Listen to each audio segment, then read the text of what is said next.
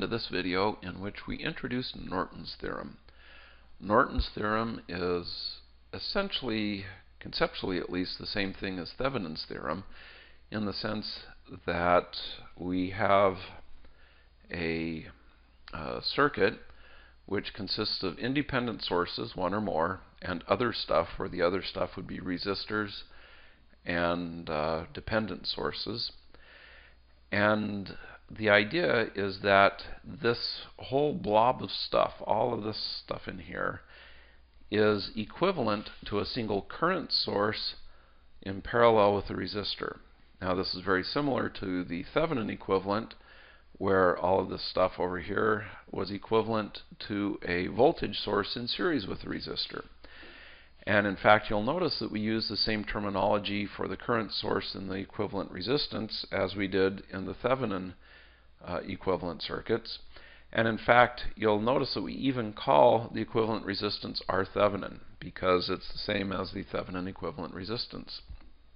So if you're in a position where you need to uh, find a Norton equivalent source rather than a Thevenin equivalent source, or I'm sorry, a Thevenin equivalent circuit, the process is essentially the same. You find the short circuit current, which again you get by shorting the two terminals. You find the open circuit voltage, which you get by leaving the two terminals open.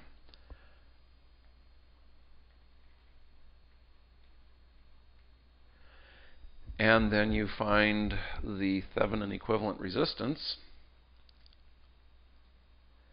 as uh, VOC over ISC.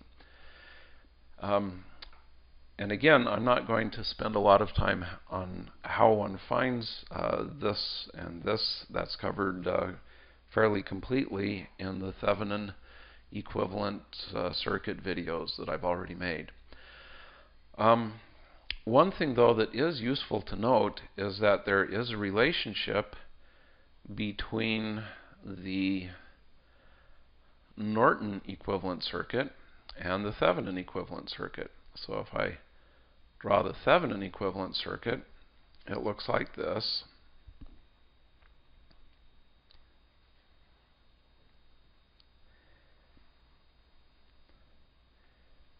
These two are equal.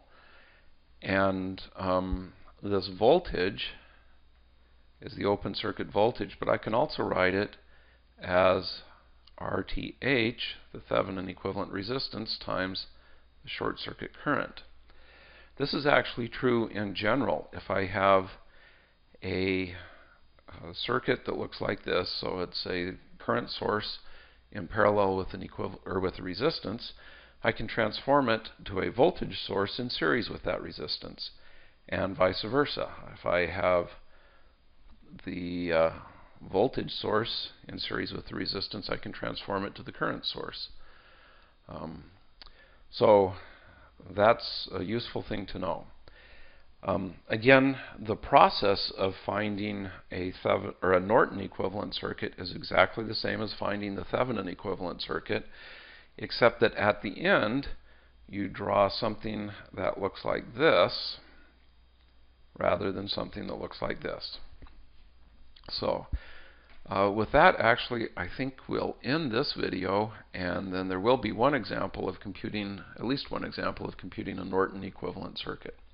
So hopefully you found this useful. Um, thanks for watching.